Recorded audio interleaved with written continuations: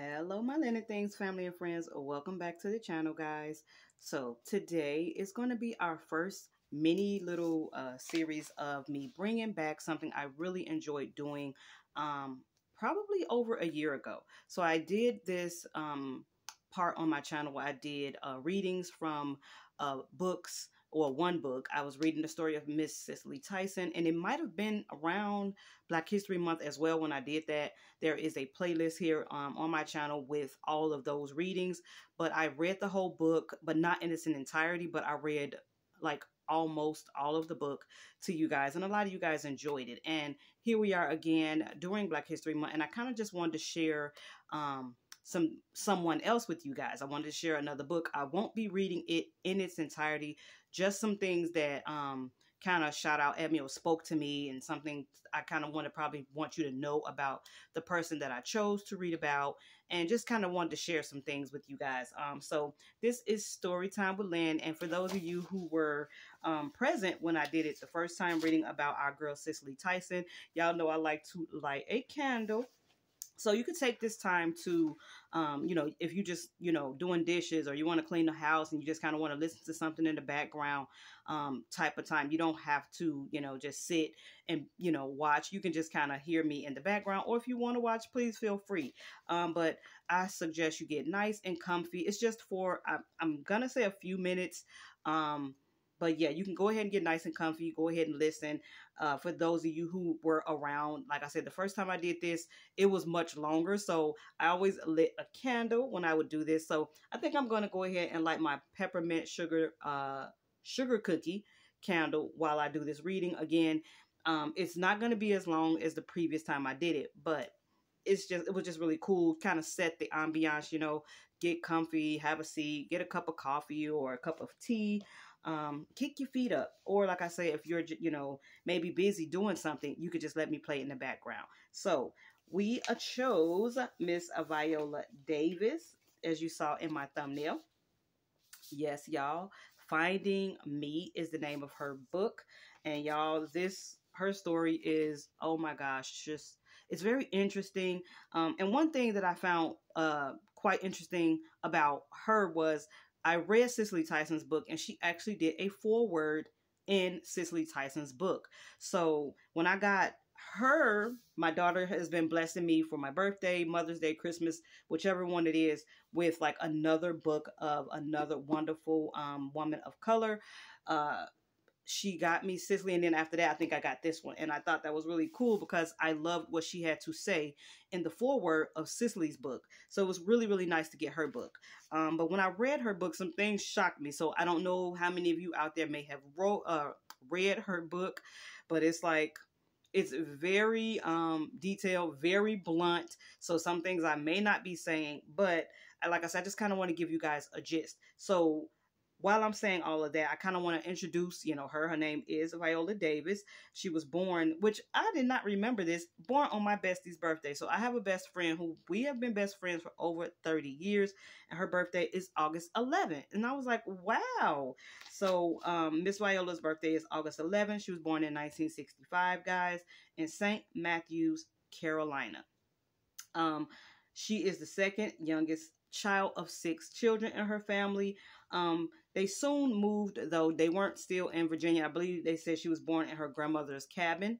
Um, but they soon moved with her mom, her dad, and a couple of her siblings. I do believe some of the children got left with the grandma for a little while, but they um, wind up moving to Central Falls, Rhode Island, guys. And I just thought, I I know I don't know when I first heard that, I just found that so funny that you know we have a family of color moving to uh, Rhode Island. I just can't even picture that. It just seems so weird to me. But um, her father was a factory worker and her mom was a maid. And so I believe they went there probably for work. You know, father was trying to find work. So that's just a little background on her, where she's born and things like that. So now I'm going to read the part of the book that, you know, kind of to introduce a little bit of her and like her younger life. So here we go, guys. It says, one day after a snowstorm, the snow was piled so high in the streets anyone could hide behind the giant mounds that seemed to be everywhere. My shoes had huge holes on the bottoms, which meant I couldn't run fast in them because they would make my feet hurt, worse than they already did. Because of this, during my daily runs for my life, I would usually take my shoes off, hold them in my hands, and run bare feet. But with mountains of snow everywhere, I couldn't do that this time. As a result, they caught me. And when they did, they held my arms back and took me to their leader, the Cape Verdean boy. I didn't mention names because, well, their race is more important in telling this story. She's ugly. Uh, and they call her the black um, N word. He says, she says, my heart was beating so fast. I kept silently praying for someone to come and save me. And the other voices sounded around me. What should we do with her? Yeah, yeah. You're you're ugly, they kept saying over and over. I don't know why you're saying that to me. I pleaded to the ringleader, the Portuguese boy. You're black too. And when I said that, everybody froze and fell deathly silent. For a split second, we were all in a movie. As all now silent white boys looked at the Portuguese boy, eager to respond to anything he said. You're black too, I yelled, and I yelled it again, calling him by his name. The gang remained silent, really, really quiet. He looked at me and looked from one white boy to another, frightened and struggling to find a way to hide the truth of what I had just said. The kind of truth that's rooted in a self hate that we would rather take to our graves. Finally, he screamed in intense anger. Don't you ever call me black. I'm not black. I'm Portuguese, he says. And he punched me in the arm really hard. He looked down, ashamed at being called out, as if I exposed the ugliest, most painful truth. Get out of my face. Then they threw me in the snow and kicked snow all over me. My arm had stiffened. It was I was in pain. I walked home completely humiliated. The next day, I did not want to go to school. My mom was doing the laundry in one of those old washing machines where you had to pull the clothes through the wringer. What's wrong with you? she asked. Mama, those boys want to kill me. They chase me every day after school. After keeping it from her for months, I finally told her about my ongoing daily trauma. Viola, the southern pronunciation of my name, don't you run from them boys anymore. You hear me? Soon as that bell rang, you walk. And walk is in capital letters, y'all. You walk home. Because see, every day she got out of school, she would get prepared to run home, guys, because they would chase her home every day. And so her mother told her to walk. They mess with you, you jug them, she says. Jug is a country word for stab. But if you know what a crochet needle looks like, my mom was actually being ethical. They are not sharp at all. She gave me a crochet needle and told me to keep it in my pocket. It was her shiny blue one. Don't come back here crying about those boys or I'll whoop you myself. She meant that, y'all. This was a woman with six kids. She didn't have time to go to school every day and fight our battles.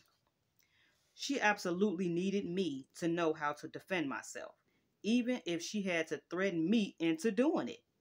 So the next day, it took every bone, muscle, and cell in my body to walk after that bell had rang.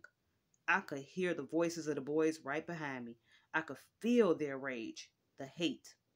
But I walked extra slow. So slow I barely moved. My fingers were wrapped around that shiny blue crochet needle in my pocket. The voices got louder and closer.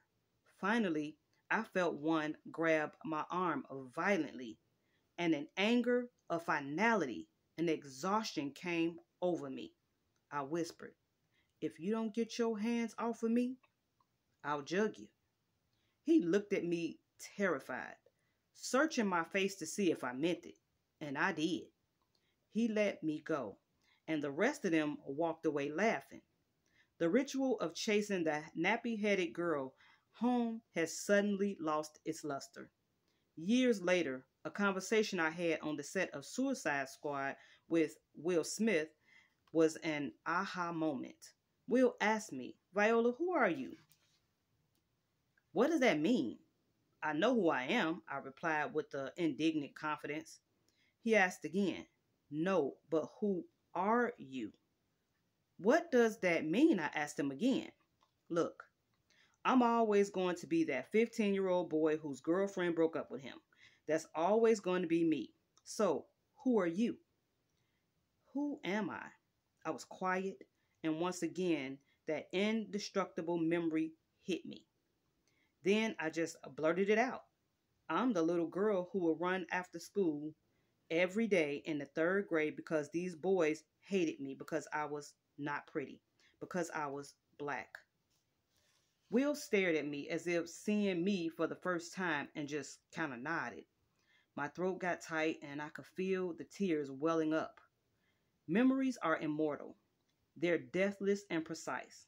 They have the power of giving you joy and perspective in hard times, or they can strangle you, define you in a way that's based more in other people's tucked up perceptions than truth. There I was, a working actress with steady gigs, Broadway credits, and multiple industry awards, and a reputation of bringing professionalism and excellence to any project. Heck, Oprah knew who I was. Yet, sitting there conversing with Will Smith, I was still that little terrified third grade black girl. And although I was many years away and many miles away from Central Falls, Rhode Island, I had never stopped running. So when I read that, um, there is a little bit more in the beginning of, of the story where she is talking about these little boys in that area chasing her down and um, just terrorizing her, y'all. Um, basically because of the color of her skin, and you know it's really really crazy that we have to live in a world where just because your skin color is different, you're probably looked down upon. You're probably not appreciated. You're it's just a lot of things that we have um seen and heard and not just in history but even into this day time day and time we still run into things like that.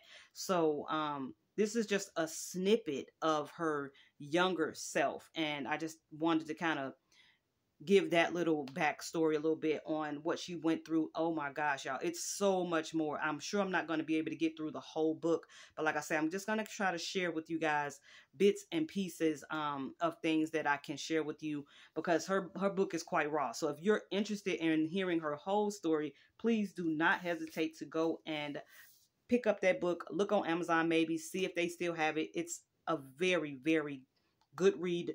You literally are just flipping, flipping, flipping. You you don't want to put the book down. That's how I was. I read it so fast.